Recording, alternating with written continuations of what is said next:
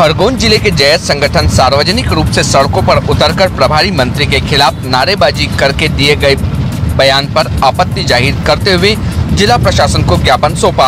आपको बता दें कि खरगोन ज़िले की प्रभारी मंत्री उषा ठाकुर द्वारा जयस संगठन के विरोध में बयान देने की बात पर संगठन सड़कों पर उतरा और उचित कार्रवाई के नाम पर ज्ञापन सौंपा।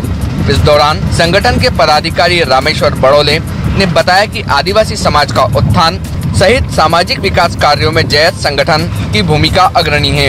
ऐसे में प्रभारी मंत्री द्वारा संगठन को तोड़ने की बात कहना समाज सेवा के खिलाफ है।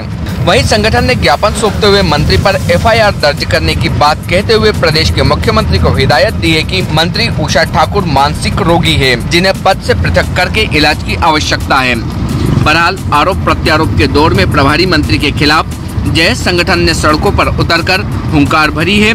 अब देखने वाली बात होगी कि मामला किस हद तक तूल पकड़ता है। भारतीय न्यूज़ के लिए खरगोन से रजाक खान की रिपोर्ट। मैडम का एक कार्यक्रम था अंबेडकर विश्वविद्यालय में, जिसमें वन अधिकार पट्टे बांटे जा रहे थे।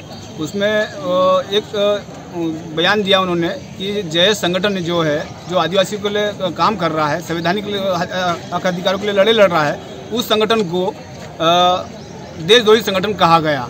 जिसके विरोध में आज हमने कलेक्टर महोदय के नाम ज्ञापन सौंपा है और उन पर मांग की गई है कि उनके ऊपर एफआईआर दर्ज की जाए, क्योंकि वो जो संगठन जयस को देशद्रोही बोला गया है, वो आदिवासियों का, आदिवासियों के हित में सदैव काम कर रहा है। उस संगठन को देशद्रोही बोलना गलत है, इसलिए हमने एफआईआर के लिए कलेक्टर महोदय को ज्ञापन सौंपा गया है।